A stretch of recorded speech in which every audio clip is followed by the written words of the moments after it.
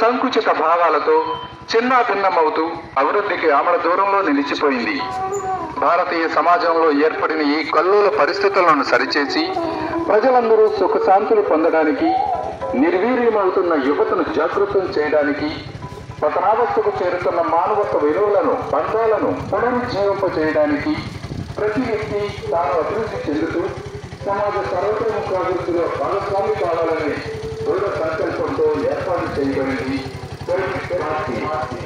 ప్రజాసేవకు ఎన్నో మార్గాలున్నా కుల మత వర్గ భేదాలు లేకుండా ఈర్ష్య అసూయలకు చోటు లేని ధార్మిక మార్గమే ఒక మొత్తం ఉన్నది జ్ఞానం ద్వారా జ్ఞానబోధ చేస్తూ మానవులను మహనీయులుగా తీర్చిదిద్దుతున్న ఓకే సార్. చాలా చాలా థాంక్స్ సార్. విశిష్ట మహోన్నత గురుదేవులు శ్రీ శ్రీ శ్రీ బ్రహ్మశ్రీ పత్రిజీ మహారాజు గారి ఆశయాల స్ఫూర్తితో ఏర్పడింది పార్టీ సువిజ్ఞాన భారతీయ